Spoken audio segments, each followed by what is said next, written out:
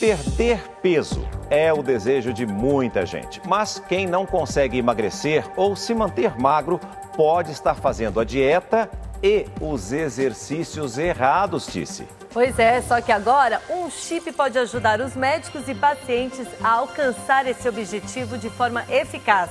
Quer saber como? Veja agora na reportagem da Elaine Cortes. Paleolítica, a dieta da idade da pedra, hiperproteica, aquela da proteína, low carb, com pouco carboidrato, mediterrânea, rica em frutas, legumes e verduras, e mais uma listinha imensa para quem está na briga com a balança. O drama do emagrecimento. A vida inteira. na verdade, eu passo a vida inteira fazendo todas as dietas possíveis, algumas deram certo para algumas pessoas, quando eu fiz, não adiantou nada, ou outras deram certo para mim, para outras pessoas não. Para alguns, simplesmente não tem segredo. Você precisa de foco. Então, se a pessoa não tem. Começa com uma dieta, começa com academia, na semana seguinte já não vai, não tem resultado. Eu acho que é mais questão de foco e objetivo. Será que basta? Se eu durmo mal, se eu me alimento com gordura, eu vou ativar naturalmente genes de doença. Então, com isso também, além disso, eu vou aumentar o risco de obesidade. Né? Então, assim, claro, todos nós temos esses genes, agora o que determina isso é o seu estilo de vida.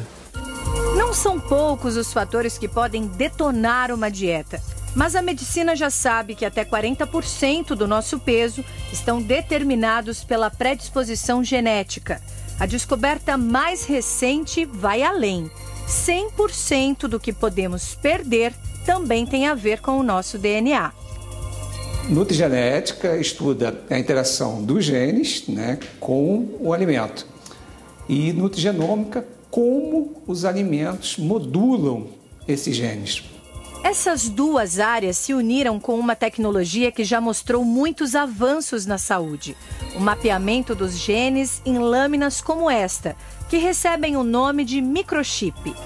A leitura de uma sequência de genes pode determinar os rumos da dermatologia na fabricação de cosméticos, prevenir ou antecipar diagnósticos da oncologia, por exemplo. Foi o que aconteceu com Angelina Jolie em 2013, lembra? Ela fez uma dupla mastectomia depois que um exame desse tipo detectou uma alteração no gene BRCA1. A chance de desenvolver câncer de mama existia. Agora, os laboratórios aceleraram as descobertas pensando na obesidade, mal do século. Nos últimos 10 anos, mais do que dobrou o número de jovens obesos no Brasil. O aumento de pessoas obesas nas demais faixas etárias chega a 60%. Já ouviu falar do chip do emagrecimento? Ele vai indicar qual que é a melhor alimentação para perda de peso a atividade física, se o paciente responde bem ou não e qual que é o melhor tipo.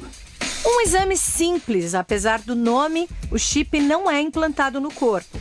A saliva é coletada, colocada num frasco e a amostra vai para a lâmina. Corantes geram ondas que podem ser lidas com câmeras a laser. O laudo pode ter centenas de páginas que detalham e codificam todas as facilidades e dificuldades para emagrecer ou engordar. Muita gente já escutou falar, ah, genética não é destino. De fato, você pode nascer com essa suscetibilidade, isso não está dizendo que você vai ter aquela doença. Você tem um risco maior, vai depender do seu modo de vida. O resultado para os tratamentos feitos a partir desse mapa alcança um 97% de sucesso e o custo para o paciente gira em torno de R$ 1.700. Não vai ser mais, eu vou passar por um monte de profissionais e vou tentar. Eu acho que aqui te dá um direcionamento assertivo para você realmente ter um tratamento que é seu, dentro do seu DNA. Este nutrólogo atende em média 300 pacientes por mês. Apenas 10% deles recebem essa recomendação. Geralmente, quem tem obesidade mórbida ou já passou por muitas tentativas e erros tentando emagrecer. E não existe uma melhor dieta. Existe qual é a dieta adequada para aquele, para aquele indivíduo. O paciente sai daqui muitas vezes sem nenhuma prescrição de remédio mas com uma dieta muito específica e com a atividade exata. Por exemplo, a perda de peso, as pessoas falam muito de, de, de aeróbico, aeróbico perde mais peso. Mas e é para aquela pessoa que não tem músculo nenhum? O aeróbico perde mais peso? De uma forma absoluta, naquele primeiro momento, sim, mas e a médio e longo prazo, não. Olha só que curioso. A análise mostra se o gene beliscador está ativo, aquele que te faz petiscar o dia todo.